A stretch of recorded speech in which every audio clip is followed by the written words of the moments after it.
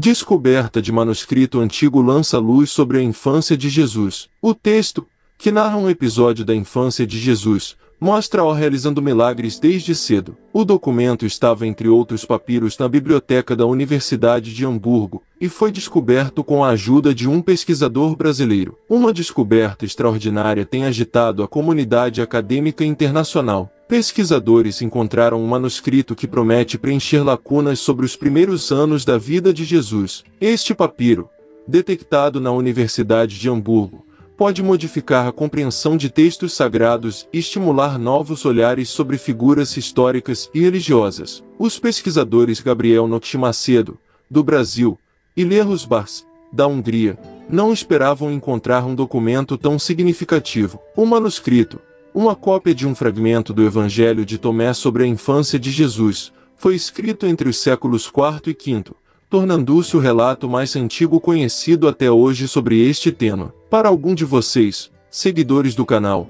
que tem interesse de fazer algumas compras online, nós temos quatro lojas parceiras.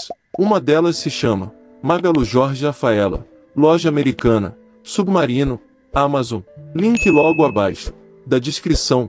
Boas compras! Qual a importância desse antigo manuscrito? O papiro vem dar novas perspectivas sobre os chamados anos sulcatos de Jesus, aqueles não narrados nos evangelhos canônicos da Bíblia. O texto, que narra um episódio da infância de Jesus, mostra-o realizando milagres já na tenra idade, um tema que sempre instigou tanto crentes quanto estudiosos. O documento estava entre outros papiros na biblioteca da universidade, camuflado pela sua caligrafia desajeitada e pouco convencional. Processo de descoberta e análise. A jornada para a descoberta desse importante papiro começou com uma revisão detalhada de documentos antigos digitalizados. Através de um banco de dados acadêmico, foi possível confirmar a citação inicial à figura de Jesus, um achado que imediatamente atraiu a atenção dos pesquisadores. Após análises mais profundas no texto grego, a dupla confirmou que se tratava de um trecho do Evangelho de Pseudo Tomé, um texto menos explorado e conhecido em várias línguas antigas. Impacto no campo da papirologia e estudos religiosos.